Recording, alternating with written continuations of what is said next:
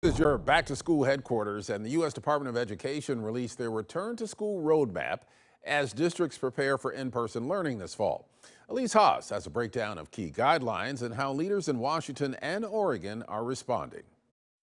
While the CDC strongly recommends that students, faculty, and staff wear masks at school this year, they say it will be up to the schools ultimately to decide for what they want to do. The roadmap includes three landmark priorities for schools, which includes prioritizing the health and safety of students, staff, and educators, building school communities, and supporting students' social, emotional, and mental health, as well as accelerating academic achievement.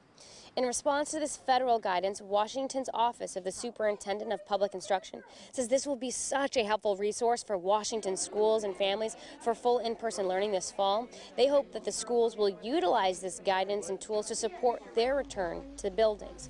The Oregon Department of Education tells me their plans, protocols, and commitments aligns perfectly with the roadmap from the federal government.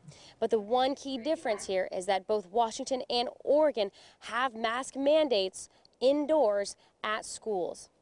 And I have been reaching out to several local school districts, Evergreen School District, Vancouver, Portland Public Schools, just to see where they are at with their plans. And they say they're still just trying to iron out the last final details. In fact, Portland Public Schools is having a public board meeting tonight. So if you want to listen to school board and see what issues they're talking about and finalizing, I've included a link to that live stream at KOIN.com and it will start at 5 p.m.